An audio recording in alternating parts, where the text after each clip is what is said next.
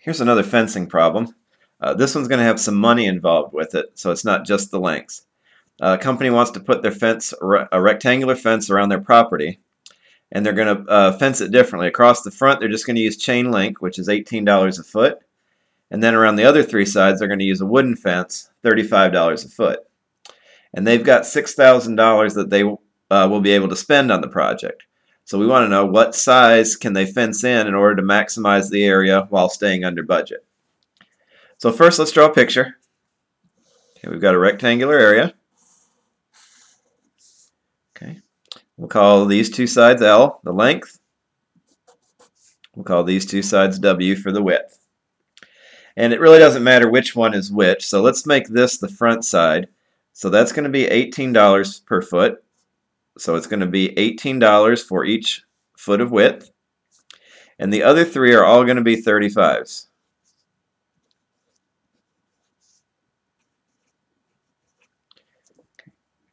Now we know we're going to be restrained by the $6,000 that we have to spend. So let's write that equation over here. 6,000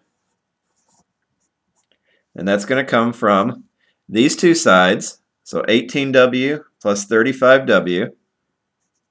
So that gives us 53W plus these two sides, 35L and another 35L. That's 70L. Okay. So what we want to do now is we need to solve this either for W or L.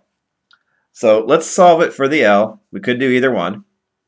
So, and I'm going to swap this around. So I'll put, subtract the 53W over there. So that'll be 6,000 minus 53W. And I'll just swap that and move it over to the right and put the 70L on the left-hand side. And then now we're going to divide everything by 70. So L is going to be 6,000 over 70 minus 5W over 70. I'm sorry, that should be 53W.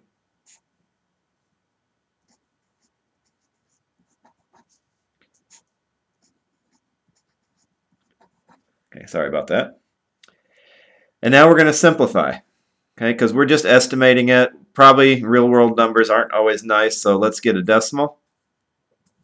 Okay, if we do 6,000 divided by 70, that comes out about 85.7 minus, and then 53 over 70 is about 0.76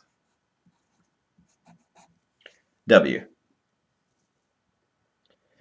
Okay, so but remember we want to maximize the area, so we need our area formula. Area equals length times width. But now, so we only have two variables. Instead of L, we're going to put all this in place of the L. So we're going to have 85.7 minus 0.76 W times W. Okay. And if we work this out, we're going to have our area equation being negative 0.76 W times W so negative 0.76 W squared plus 85.7 times the W. 85.7 W. So this is our area equation. We want to maximize the area, so we need to find the critical point. So we're going to take the derivative. So 2 times negative 0.76 so that's negative 1.52 W. And then here, linear term, we just drop the variable. So we're left with 85.7. Make this equal to 0.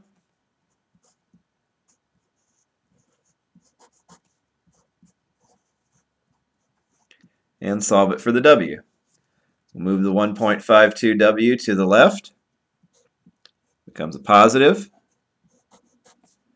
equals 85.7. And now if we divide by 1.52, this gives us a value of W of about 56.4 feet. Okay, so that tells us that these two sides are going to be 56.4. All right, what about the other two sides? Well, remember, we've got a formula for L. Okay, L is 85.7 minus 0.76 times W. Well, now we know that W is 56.4.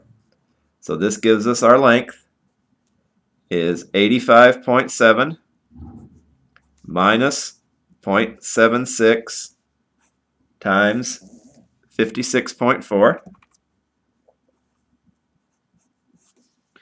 And if we calculate that out, we end up with a length of right at about 43 feet.